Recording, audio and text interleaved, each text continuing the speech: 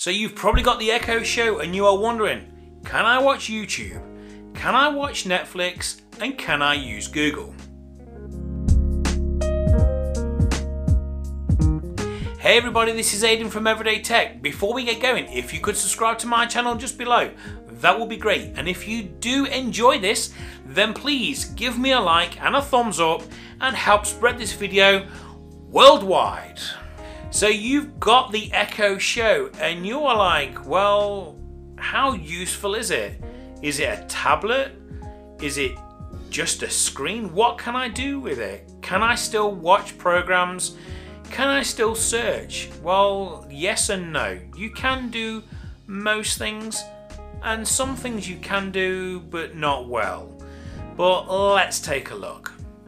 So let's start with number one, and that is YouTube. Can you watch YouTube on the Echo Show? Well, the short answer is yes, you can.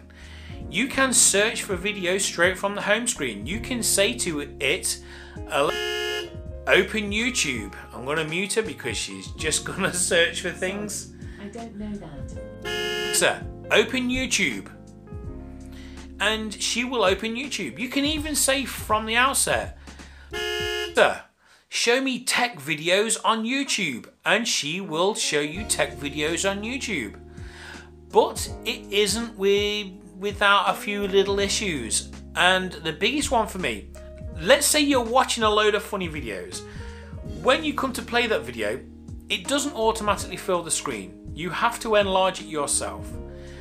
That's fine, but what does frustrate me ever so slightly is that when it does come to the end of that video, it will automatically play the next one, but the screen reverts to going back in the top left hand corner, which is quite annoying, but it's not the end of the world. The fact that you are still able to watch YouTube videos is still a bonus. So number two is Google. Can you use Google? Well, the short answer is yes, you can. Now, it isn't perfect. It isn't perfect by a long shot, but you can still use as a search engine using Google. It can be a little frustrating because you have to open Google first before you start searching. So you can't just say, like on YouTube, you can just say straight away, search YouTube for XYZ. I can't say, search Google for XYZ because it'll just search for XYZ but not in Google. You have to open Google first and then you can say, search for XYZ. So just bear that in mind, but you can still use it as a full web browser. You can still use it like you would on a, think of it like a tablet, but it has the benefit being used with, this is kind of what we would like to see, the integration of Google with a that would be ideal. It's not really going to happen. This is just a workaround, but it is kind of useful. So yes, you can use Google and it is quite good. Now the other thing to bear in mind is you have two web browsers to choose from. You have Silk which is Amazon's own web browser and you have Firefox. So I do recommend using Silk as your browser and Google as your search engine.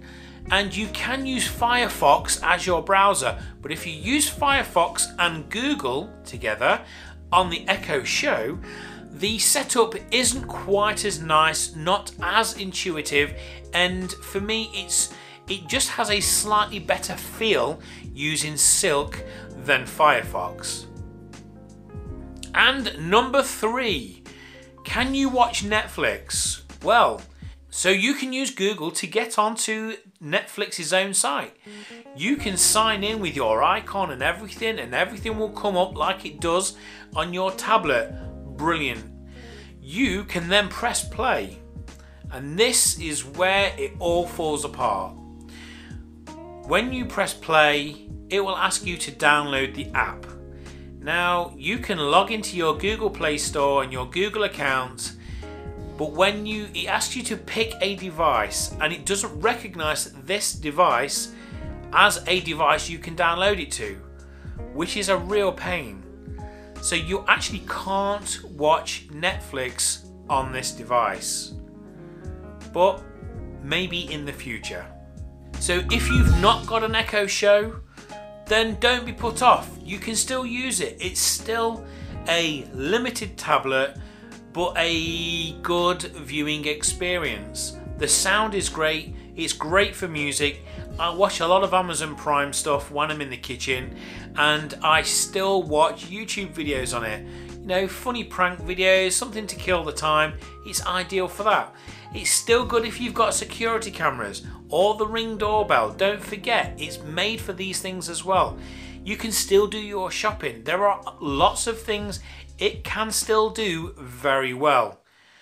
So, if you've enjoyed this video guys, don't forget, give me a like.